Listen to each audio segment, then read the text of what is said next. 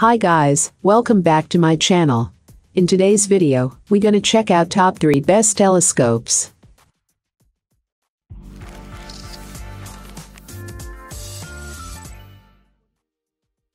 Starting at number 3. Orion 09007 Space Probe 130 Saint. The Orion 09007 Space Probe 130ST is a reflector telescope, and with a 5.1-inch aperture, it can deliver high-quality images of distant stars and galaxies. The large mirror within the optics tube gathers a decent amount of light and sends it to the eyepiece. The large aperture increases the brightness of distant star clusters, nebulas and galaxies, and the 24-inch optical tube is small and compact. With such a short tube, this telescope is easy to transport, and for wide field performance, it's equipped with an f5 focal ratio. A pair of 1.25-inch Sirius Plössl eyepieces make it easier to see the tiniest details, and unlike some alternative options, Plössl eyepieces are very comfortable and easy on the eyes. The only real downside is the price, which is significantly higher than many other entry-level telescopes.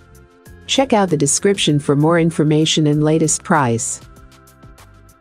Coming at number 2. Celestron PowerSeeker 127 EQ.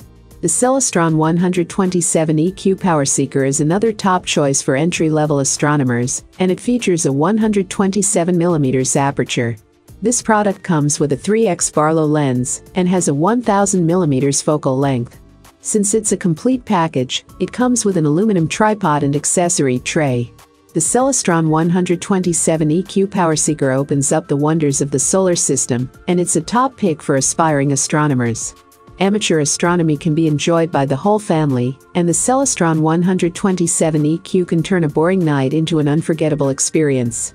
This product comes with TheSkyX astronomy software, and the optical lens is covered in a high transmission coating. Like other Celestron telescopes, the PowerSeeker is compatible with a variety of accessories, and the package includes everything you need to get started. And number 1 of this list. Celestron ExploraScope 22103. Here we have another product from Celestron, and it's the popular ExploraScope 114 Arizona. This is a classic Newtonian reflector telescope, and it has been redesigned with a new mountain fresh look. For smooth precise control, it features a new altitude slow motion rod, and the rod significantly increases pointing accuracy. This telescope comes with a star pointer finder scope, which helps beginner astronomers navigate the night sky with a red dot.